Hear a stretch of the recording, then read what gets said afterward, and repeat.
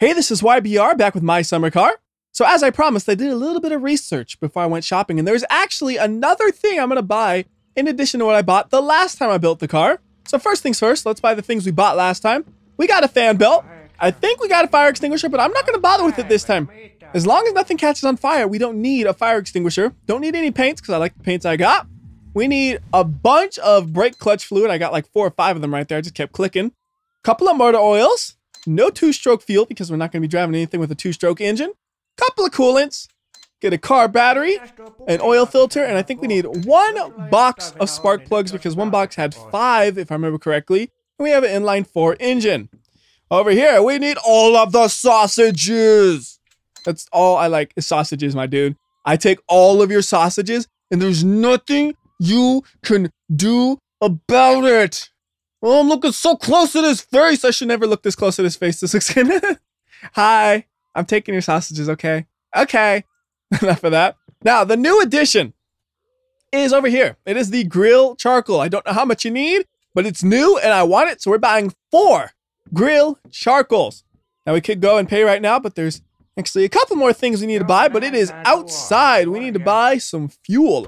So let's go ahead and grab one of these canisters. We're going to grab this one, which is the diesel, and we'll do the diesel first. And we also need to fill up the van afterwards. So what I should probably do is heat up the van while I get the gasoline so it'll be ready to go by the time I'm ready to fuel it up. Pop this thing open, and then I'm going to fill this up off camera because it's going to take a while. So I'll be back once it's full. And diesel canister is full. We got 58, whatever these are, worth of diesel. I want to say dollars, but I know they're not dollars. They're like marks or something like that. I think it's MK. So I'm to call him marks for now because I can't remember the actual name. Speaking of not being able to remember the name, what's this dude's name again? Tiamon. That's it's a little bit hard to remember. So you know what? Instead of calling him Tiamon, I'm to call him Pokemon. That's easy to remember. So I get this thing heating up as I go and do the gasoline now. And once again, there's really no need for you guys to watch me fill this thing up. So I will be back once this thing is completely full. Okay, gasoline is completely full. Now we can throw this canister into the van as well. And then for the van itself, which I think takes a lot more than just one canister, I'm pretty sure. Like some video games will do one canister equals one tank of gas. This one's a little bit more realistic. One canister, not a full tank of gas, I'm pretty sure. Get in the driving mode, park and brake off. And we're out of here, losers! Can't really see behind me. I hate trying to back up with this thing. Like, there's the diesel. I crashed into it, but I found it. Right, shut this thing off because you shouldn't fill up a vehicle with the engine running. That's just bad, bad, bad news. And I guess this will work. It's a little closer than I wanted it to be. Pop it open. Actually, kind of hard to pop that open right there. It has to be like a very specific mouse location, it seemed like. And then can this thing reach around a little bit? Ah, uh, yes, it can reach around. So I'll go ahead and fuel this thing up and I'll be back when it's done. Diesel is full and that was almost 100 marks of diesel. So yes, we did need a good amount more than the amount that goes into a tank. And I can't seem to, uh, maybe because I'm holding this thing. Hold on, let me just drop that real quickly. Let's see, can I close this little hatch? Come on, nope. Somehow I'm opening the back door. There we go. Now we close the hatch. Oh yeah, speaking of the back door, I still have the envelope back there, don't I? You are nice and safe, aren't you? I'm gonna bring you to the driver's seat just so you're extra safe as I drive a few feet and you disappear through the ground. Don't disappear through the ground, please. Is this heated up? All right, nice and fast start. That's good. Now we're gonna drive on over so that way it's easier to load this thing up with all the stuff we're gonna buy. We'll park it like right in front of the door. And there we go. Power it off. Out of driving mode. Take my envelope. Oh, the door's stuck. Door is stuck. I thought it was open. And the envelope, I believe it goes in this box right here. Right? Just kind of slide it on in. Yeah, it just disappeared. So I guess it took. All right. And then how much do I owe you, my man, Pokemon? 2,200 whatever these are. Marks. That's right. They're marks. MK. See? So I will take it. I know it takes more than one bag for all that. There we go. That's what I'm talking about. That's an explosion of goodies. Did I just pick up? I don't want to buy a car seat. I don't know what I picked up, but I don't want it. What is it actually there? Because I've seen it before and I always forget what it is. It is a dash cover. Yeah, I don't want a dash cover, my dude. I was just trying to get my charcoal, which I already paid for. Can't charge me twice for it. So I still got about 800, so that's not too bad at all. We still got money. So if I ever need anything else to buy, we can do that. It's annoying having to crouch and then get up to like kind of like move things around. Just takes a while. You can't just grab it from standing position. You have to crouch down and then back up, or you can stay crouched. I guess that kind of worked. It's a little slower to move around, but you can do it like this. It's a little less frustrating. That's the thing. This is nice and relaxing. It's just move it from A to B. Move it from A to B. Easy, easy. feel like I didn't like move everything that I was expecting to. I don't know. I'm counting everything, and yeah, everything's there because the things that aren't there are in the bag. It feels like I bought a lot. I guess it's all that charcoal.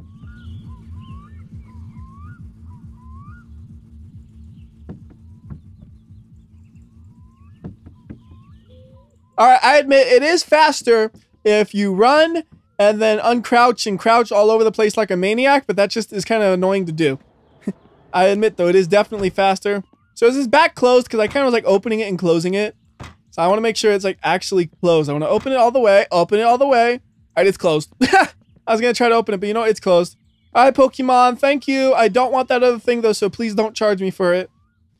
Get this thing moving. Come on, start up. There you go make it a little bit better. Get rid of that windshield. Actually, you know what I could do with the windshield? Instead of just getting rid of it, we could put it in the back and save it for later. There we go. Perfect. That's exactly what you want to do with your windshields. Wasting gas, though. Can't be doing that. All right, door is shut. We are ready to go back home. See if I remember the way to go back home or not. Yeah, look at that idiot. He crashed. What a loser. So if I remember correctly, you basically go left, then you go left, then you go left, and you get home. And the same to get to the store. You go to the right, go to the right, go to the right, and you get to the store. Pretty sure that's right. We'll find out. That's an actual stop sign, not a yield or anything like that. So you got to come to a complete stop. Look to the right. Look to the left. I can't really see because there's a sign there. It's clear. Right should still be clear. Let's go. I almost wanted to go on the left lane for a second. I've been playing uh, a little too much of games where you are on the left side of the road. I almost just went to there. And the game I'm talking about is mainly Forza. Know, Forza Horizon 3 and 4 had you driving on the left side of the road. Come on, man. That's not where people drive. We drive on the right side of the road. Oh my goodness. Somebody just hit me. You can never trust the traffic. You just can't trust them. I'm in my lane, accelerating as hard as I can, completely obeying the law, and I get rear-ended. I did absolutely nothing wrong there. That is not my fault, but everybody in this game is a complete maniac. Makes me want to go and just beat him up. I'm not gonna, but it makes me want to. Big truck, wreck that dude for me. And he's gonna wreck the world with all of his pollution he puts out. That was disgusting. I need to slow down, but I'm afraid I might get rear-ended, so I'm gonna do it like this. I'm gonna overshoot it to make sure I don't get hit by the other dude. I guess he spun out or something. That's weird. I thought he was like still right behind me, just kind of outside of my mirrors, but he wasn't. Anyways, though, whole point of that was to make sure I didn't get rear-ended. I didn't get rear-ended. That's what matters. 60 kilometers per hour is the speed, but I'm gonna pretend this is 60 miles per hour. Ha ha ha. Well, not for long though, because I think we gotta go on the dirt road soon. And the dirt road, yeah, I obey that speed limit because that's a little dangerous. So we'll see if this is the right way or not. The way to tell is if we find the guy who was at his farm and I completely ruined his farm. Is this that dude? I think this is the dude whose farm I ruined, isn't it? Let's see. If we go through here, I'll be able to tell whether or not it is. Uh, no, this is a different dude, isn't it? Oh, well, I'll ruin his farm, too. i just drive on through it, ruin his crops, whatever. I'll do what I want. I can do whatever I want. And then we go back onto the road like I did nothing wrong at all, but I know I did a lot wrong that I shouldn't have been doing, but I did it anyways. Come on, get up to speed. I should have downshifted. That would have got up to speed. Oh, this is the same farm. I just got, I forgot. That's right. There was two entrances to it. Or an entrance and an exit. I forgot about that. Now it's coming back to me. So that is the right farm. We are going the right direction. I am happy as can be. I'm so happy I'm going to shift into third gear and take the risk. Probably shouldn't be doing this. Doing it anyways. I mean, we are going a really good rate of speed. What's it say? 80 kilometers per hour? That's fast. Oh my goodness. I was looking at the speedometer, not looking at where I was driving. Ow! Like, if I crashed a little bit faster than that, I think that's death. I barely slowed down enough to not crash. All because I was trying to read the stupid speedometer. That's why laws about how fast you can go need to be abolished. Because... Is that the car squeaking now? No, That's a dog barking. Uh, I got like scared. I like I thought you couldn't damage this thing. Was it changed in the update? I mean, you could damage it, but you can't actually make it worse. Is what I should say. Uh, but I was saying though, speed limit should be abolished because you can accidentally get into a crash because you're busy trying to look at how fast you're going. Makes sense to me. Let's abolish all speed limits. You can go as fast as you want, wherever you want. Sure, it'll increase the number of crashes, but it'll decrease the number of crashes resulted from looking at your speed. And that's what we're trying to do here, is just decrease that number. Who cares about the overall number of crashes? It's not my worry. I don't think I want to take a left yet. I think we keep driving, right? Yeah, it has to be, because we haven't passed the train track yet. Usually you pass a train track, then you take the left, and then you pass another train track. And I know when I pass a train track because I get very scared, my hands get sweaty, and I close my eyes and just hope I don't get hit. There's the water. Don't fall in the water. You know, I wonder if anything fell out of my car when I got rear-ended because sometimes things do glitch through the vehicles as you saw with that envelope earlier. I didn't think about that, but it's frightening. All right, so there's the first train track. Full speed on this thing. Don't slow down, just cross it. All right, we're good, we're good. Woo! Take a breath. Ah. Feel so much better now. Like, you notice I do slow down afterwards because it really is a little bit concerning. All right, so we got building up there, some dude. I don't know what he's about, so I'm just going to ignore that. Now, I already looked at some dude's house last time. I'm not going to do that now. I'm on a mission. We're going to assemble the car because I studied the car. I know how to assemble the car. I still have my same cheat sheet from the last time when I made the car, which I modified from the time I made the car last time, which I made from my first time building the car. I have built this car so many times. I know it like the back of my hand, man. This is going to be like actually probably like, you know, with editing and all, trying to make sure I do it right on camera. This is probably going to be like the 50th time I built the car or something, you know. But it's going to be like the fourth time on camera, I guess. Or third time on camera. I don't know. How many times have I built this thing? Too many. That is the true answer. And the sad thing is, is I built it how many times and I still have yet to actually go for a drive with it. That's the worst part. Someday we're going to build it and actually go for a drive and do more than just sitting in my garage looking at my car and thinking of the possibilities. Also, when I get home, first thing I need to do after I unload everything is get some drink. I am a thirsty man right now. I promised my parents no beer, so we're not going to have any beer. And here we go. Come on. Safe. Woo! Another breath taken. That means we are definitely on the right path and we aren't that far from home. Went a little too fast though. I felt the vehicle kind of getting out of control just for a second. Like this right here is the ideal speed. Very controllable, no chance of crashing unless I close my eyes for a while.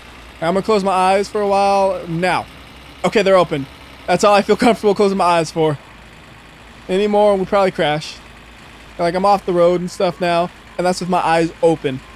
Imagine if they were closed. Alright, home should be coming up any second though. Can't see it yet, but I know it has to be close. Come on, where are you at, home? This is ridiculous. I thought you were just around the corner. You hiding from me. There's no way I overshot it. There's no way. It's so big. I couldn't possibly. There it is. I gotta get a feel for these roads again. I only have a general sense of the important things, like which way to go, but I don't have a sense of how long it should take to get from one place to the other. All right, we made it.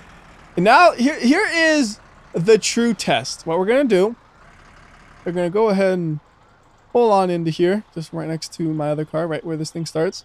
And we're gonna go ahead and see if any parts disappear when I save, because that's really the thing we gotta test here is do parts disappear or not?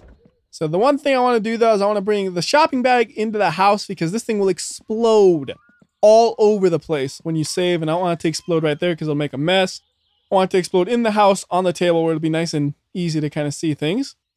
And also, we're going to go ahead and get some hydration like I said. So just stick my head into the faucet, like into the faucet. There we go.